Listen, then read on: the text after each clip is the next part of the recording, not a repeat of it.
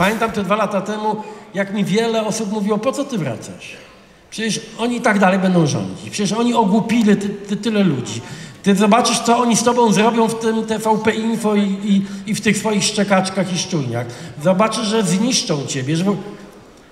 I zobaczcie, oni dzisiaj mają 10% mniej. Ja bym chciał, żeby...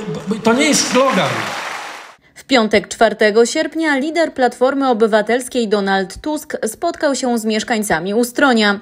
W trakcie wystąpienia poinformował m.in., że Koalicja Obywatelska ponownie wystartuje w wyborach razem. Platforma, Zieloni, Inicjatywa Polska i Nowoczesna. I wszyscy mówią jedno. Wiemy, dlaczego przyszliśmy do Koalicji Obywatelskiej.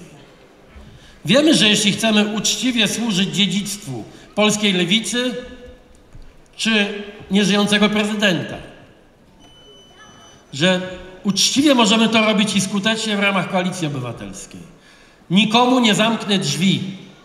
Każdy, kto dzisiaj jest gotów powiedzieć głośno, wyraźnie: Kocham Polskę, chcę zmiany dla nas, dla naszych dzieci, dla naszych wnuków.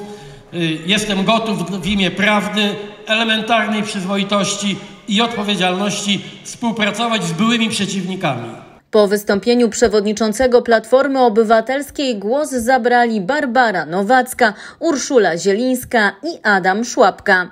Na scenie nie zabrakło również gościa specjalnego Apoloniusza Tajnera. To były tereny, na których współpracowałem z wieloma ludźmi w zakresie sportu, w zakresie narciarstwa. A czołg też budowałem w Wiśle, pełnowymiarowy, tam koło szkoły wybudowaliśmy. Także na, tak się chowałem. Proszę Państwa, ta ziemia mnie wychowała. Tutaj ci ludzie, tolerancja, zrozumie, zrozumienie e, wzajemne, uczciwość, szczerość, to mnie wychowywało. I w późniejszym działaniu w sporcie,